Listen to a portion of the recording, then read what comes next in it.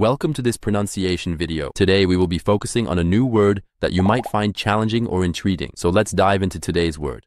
Associé, which means Associate. No recognized definition in English. Possibly a misspelling or non-standard word.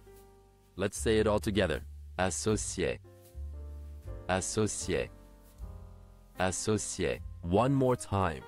Associé. Associé. Associé.